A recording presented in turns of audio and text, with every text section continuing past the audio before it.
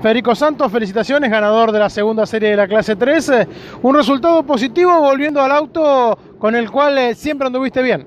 Buenas tardes. Sí, vos lo dijiste, tuvimos la verdad un receso con él, le dimos unas vacaciones, pero bueno, yo pensé que capaz que se iba a enojar y no me iba a tratar bien, la verdad que eternamente agradecido a Ariel Cano que hizo un laburo destacable. Lo decidimos casi último momento venir con el mío por una cuestión presupuestaria.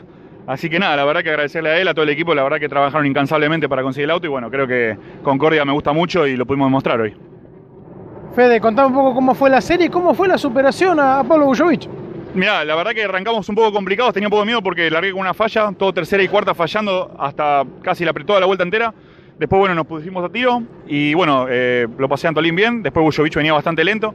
Así que nada, donde pude ver el lugar, eh, que acá es medio a veces complicado, eh, metí el auto y bueno, después ya tenía el auto bastante refregado, pero tenemos un auto para mañana excelente, así que la verdad que estoy reconfiado.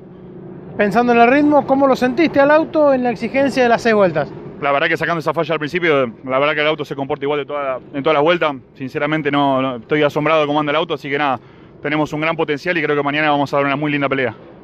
Fede, gracias por estar en Mundo Sport y que sea con éxito el, el resto del fin de semana aquí en Concordia. Bueno, muchas gracias. Déjame agradecerle de vuelta a Ariel Cano, a Carrasales, a Tito Fregonese, a todos ellos que la verdad que me dejaron un auto impecable. Bueno, al grupo Sancor Seguros, a Prevención RT, a todos ellos que hacen posible esto, a ver si le podemos dar una alegría mañana.